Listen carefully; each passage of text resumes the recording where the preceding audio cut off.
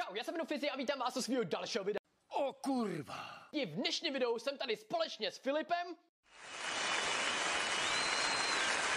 Dneska jsme se rozhodli, že uděláme společné... Sex Filipe, jsi připravený? Jsem připravený. Tak super, takže pojďme na to.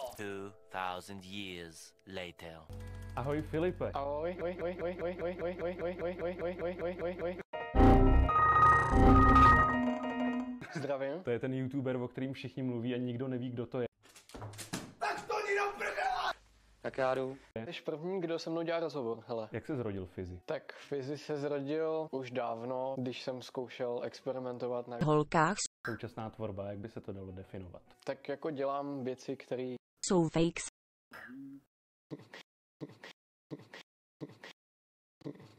který si myslím, jako, že zajímá spousta lidí.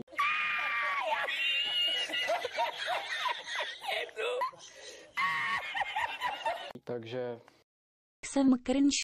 Co já jsem o tebe viděl? Tak já jsem viděl, jak si pouštěl kocoura v balónu.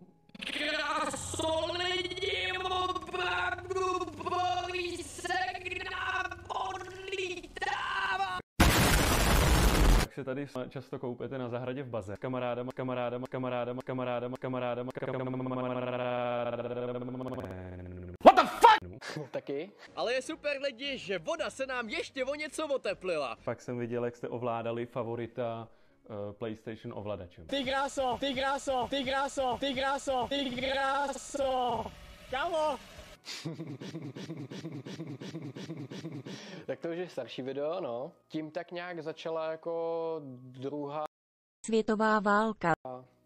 tím to začalo, no. Tím začala jako druhá, Světová válka. kdy jsem točil víc a od té doby aktivně se věnuju YouTube. Kdo jsou tvoji diváci? Mí diváci, myslím si, že to jsou de facto Roboti.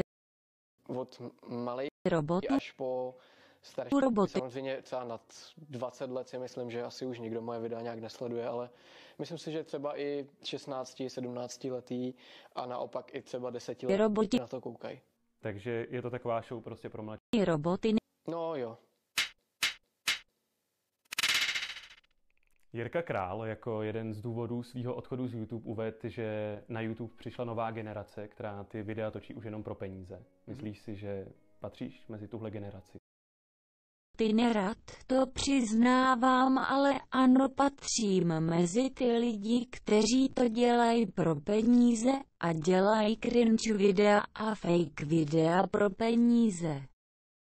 Tak zůstaňme u toho, že jsou to z velké části. Peněz. Tak jak by si se představil rodičům dětí, který tě sledují po nocích, po večerech, než jdou do školy? Čau lidi, já jsem cringe fizi a točím fake videa. Vypadá to, že jsme asi už úplně na konci. Pokud se vám tohle video líbilo, tak rozhodně běžte dolů, klikněte na tlačítko odběru, můžete i vedle na tlačítko zvonečku, ať už o žádný další takovýhle rozhovory nepřijde. No, God! No, God, please! No! No! No! Tak jo, já doufám, že se uvidíme příště a ještě než tohle video skončí, tak pojďme udělat společně pětivteřinovou challenge, kdy musíte povinně kliknout na tlačítko Nahlásit Pět, čtyři, tři, dva, jedna. Dobrý, doufám, že jste to stihli. Tak jo, mějte se hezky a u nějakého dalšího videa zase čau. Skvělý, skvělý.